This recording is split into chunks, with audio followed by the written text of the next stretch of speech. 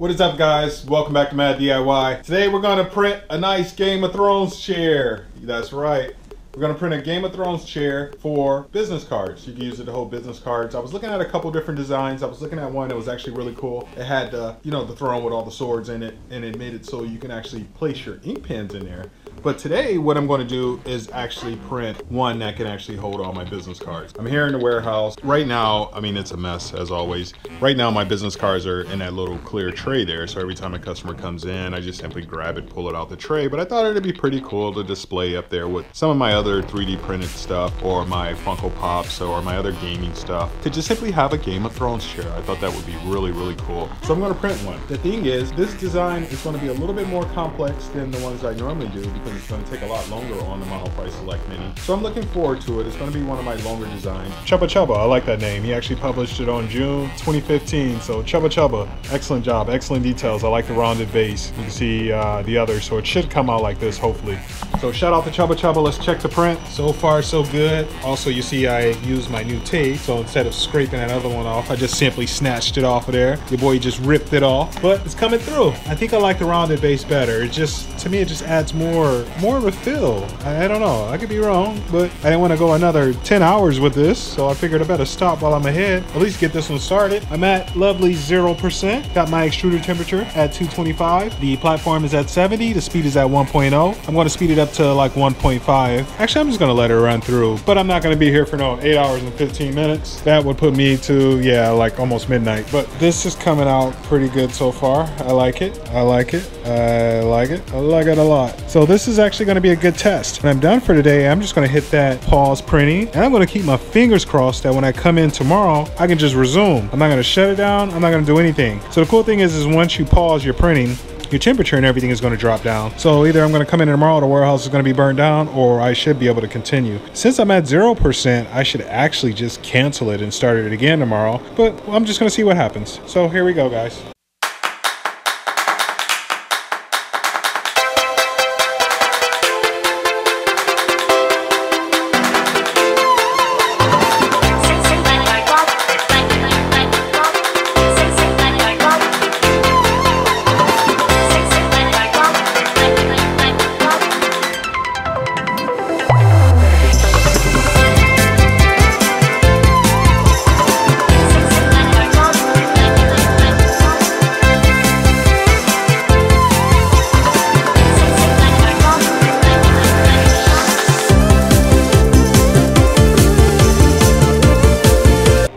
Course, the total time says 25 hours and 14 seconds. I left it on overnight because I wanted to pause the printing, which I kind of don't recommend because even though you pause it and you turn the temperatures down, this will still stay at 30 degrees, your extruder, and also your platform will stay at a minimum of 30 degrees. So this fan kind of ran all night. We got cameras, so I kind of monitored everything over there and made sure the warehouse didn't burn down. Can't lose our place of business.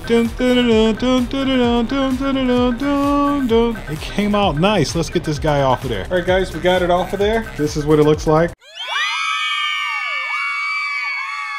That came out really nice, except for this in there. It kind of messed up a little bit and you see it is a little bit stringy but I was doing a lot of research on how to fix that up. See, as you see you got the little hole there so you can run your charger through there and it comes out the back so you can display it. Got your iron throne there. Looking really nice. It's looking really nice. I like it a lot. But I kind of want to do one more because I did so much research on how you're supposed to set your the speeds and the distance to prevent the stringy effect. But I think I have a nice DIY here on how to get rid of the strings. So there we have it guys. Look at that. Take a look at that. I cleaned it up a little bit there. Got rid of a lot of the little string effects. A couple little things I'm gonna have to tidy up. That little piece there, I'll just snip it off. But overall, besides this area here where it kind of misprint, and you can't really tell, especially since it's on the black, it almost looks like it's a part of it. Plus you wanna have that kind of look as if it's been used. It's the Iron Throne and it's been passed through generations, or should I say taking through generations. And overall, I mean, it looks really, really nice. I need a bigger 3D printer so I can print me an an actual life-size Iron Throne. This is really cool.